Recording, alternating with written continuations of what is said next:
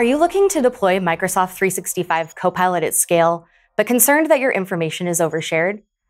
Ultimately, you want to ensure that your users and teams can only get to the data required to do their jobs and nothing more. For example, while using Microsoft 365 Copilot and interacting with work data, you don't want information surface that users should not have permissions to view. So where do you even start to solve for this? You might have hundreds or thousands of SharePoint sites to assess and right-size information access. Additionally, knowing where your sensitive or high-value information resides and making sure that the policies you set to protect information continuously and avoid returning to an oversharing state can come with challenges. The good news is, there are a number of updated tools and resources available to help you get a handle on all this.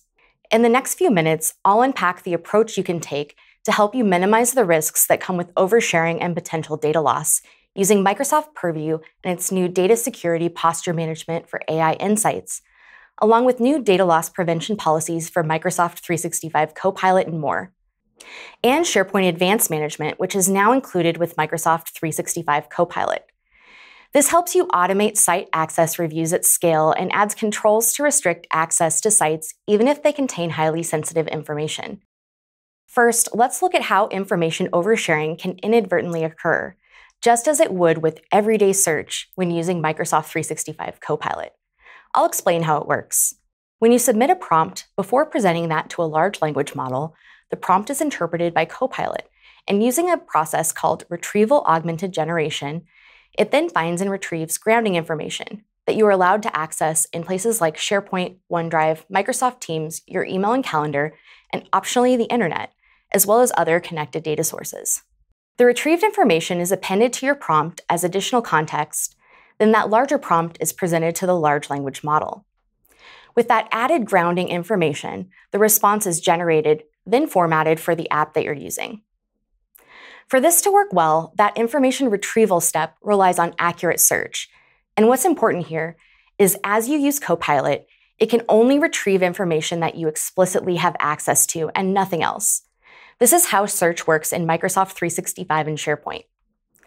The controls you put in place to achieve just enough access will reduce data security risk, whether you intend to use Microsoft 365 Copilot or not. So let me show you a few examples you may have experienced where content is overshared. I'll start in business chat. I'm logged in as Adele Vance from the sales team. Her customers are pressuring her for information about new products that haven't been internally or externally announced. She submits a prompt for 2025 product plans, and the response returns a few clearly sensitive documents that she shouldn't have access to. And the links in the response and in the citations take Adele right to those files. Now I'm going to switch perspectives to someone on the product planning team building the confidential plans stored in a private SharePoint site. I'm working on the 2025 product plan on a small team. This is the same doc that Adele just found in Business Chat. And if you look at the top of the document right now, there was one other person who I expect in the document. Then suddenly, a few more people appear to have the document open, and I don't know who these people are, and they shouldn't be here. So this file is definitely overshared. Now, I'm going to switch back to Adele's perspective, as beyond the product planning doc, the response also describes a new project with the code name Thunderbolt. So I'll choose the Copilot recommended prompt to provide more details about Project Thunderbolt. And we can see a couple of recent documents with information that I, as Adele, should not have access to as a member of the sales team. In fact, if I open the file, I can get right to the detailed specifications and pricing information. Now, let's dig into the potential reasons why this is happening, and then I'll cover how you discover and correct these conditions at enterprise scale. First, privacy settings for SharePoint sites can be set to public or private. These settings are most commonly configured as sites are created. Often sites are set to public, which means anyone in your organization can find content contained within those sites, and by extension, so can Microsoft 365 Copilot. Next is setting the default sharing option to everyone in an organization. One common misperception here is just by creating the link, you're enabling access to that file, folder, or site automatically. That's not how these links work, though. Once a sharing link is redeemed or clicked on by the recipient, that person will have access to and be able to search for the shared content. There are, however, sharing approaches which auto redeem sharing links, such as pasting the link into an email and sending that to lots of people. In that case, those recipients have access to the content and will be able to search for it immediately. Related to this is granting permissions to the Everyone Except External Users group as you define membership for your SharePoint sites. This group gives everyone in your organization access and the ability to search for that information too. And you'll also want to look into permissions granted to other large and inclusive groups, which are often maintained using dynamic group membership. And if you're using data loss prevention, information protection, or other classification controls from Microsoft Purview, labeled content can also trigger sharing restrictions. So let's move on to addressing these common issues and the controls you will use in Microsoft 365, Microsoft Purview, and SharePoint Advanced Management. At a high level, there are two primary ways to implement protections. The first approach is to restrict content discovery so that information doesn't appear in search. Restricting discovery still allows users to access content they've previously accessed, as well as the content shared with them. The downsides are that content people should not have access to is still accessible, and importantly, Copilot cannot work with restricted content, even if it's core to a person's job. So we recommend restricting content discovery as a short term solution.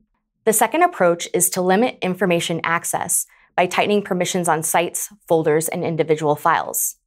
This option has stronger protections against data loss, and users can still request access if they need it to do their jobs, meaning only people who need access have access.